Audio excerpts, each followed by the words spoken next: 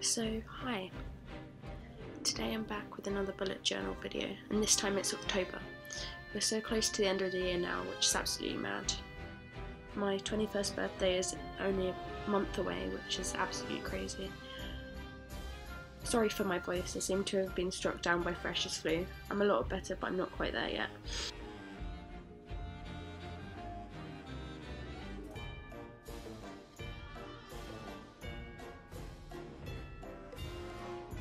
So this time I've used a variety of different pens, as always though. I'm using my Muji black gel pens as I love writing with them, especially the 0.38.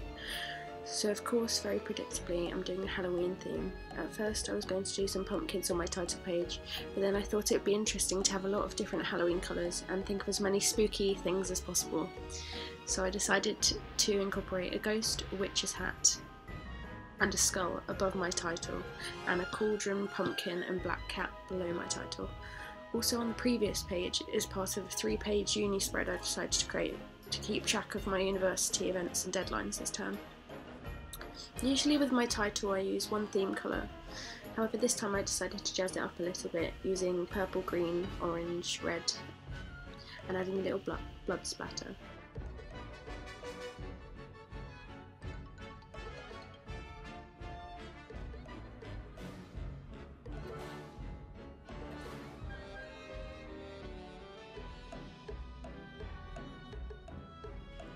Then, as always, I did my daily gratitude log and decided to continue with this colour theme here.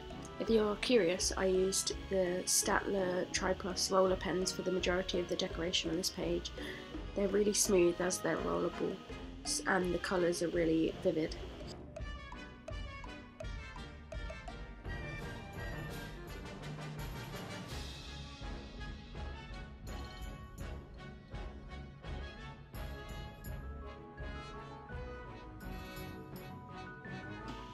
Next, as always, I moved on to my calendar page.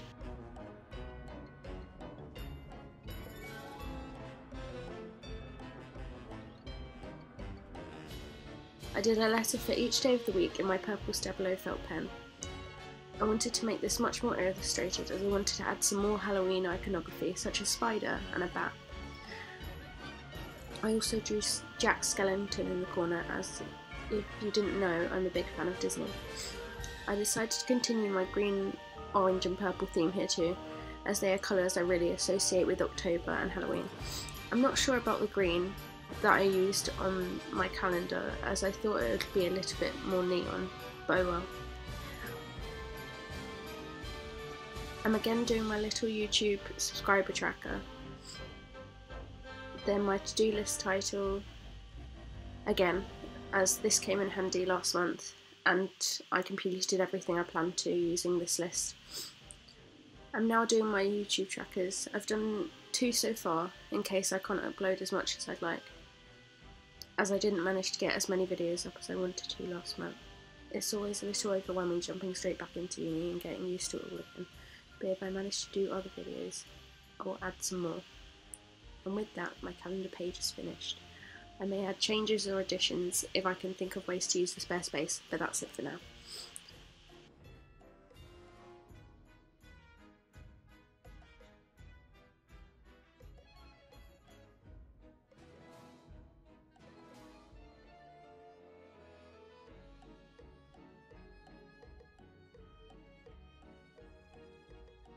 Now I'm going to do my weekly spread. I'm so happy because this month starts on a Monday, so I can finally show you how my weeks tend to look.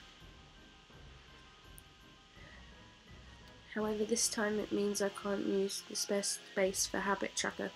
I may put these at the end of my month, seeing as there will be a lot of spare space here, as it ends on a Wednesday.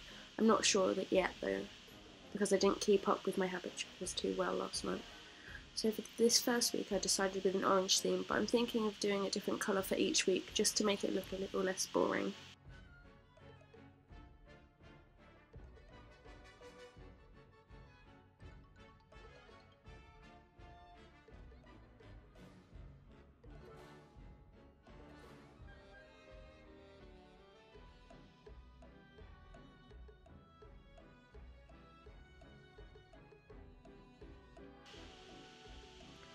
As always, I drew out my sleep tracker, but this time I incorporated a sleeping ghost as I thought it would add a little something to the spread and I thought it would be cute.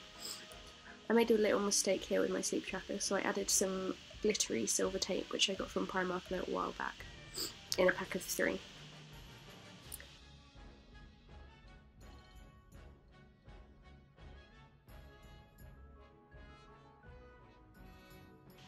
So that's my October bullet journal. I'm very happy with it, especially the title page. I really want to incorporate more into my journal, but I'm lacking inspiration, so if you have any ideas of things I could add, let me know. Thanks for watching, and see you next time. Bye.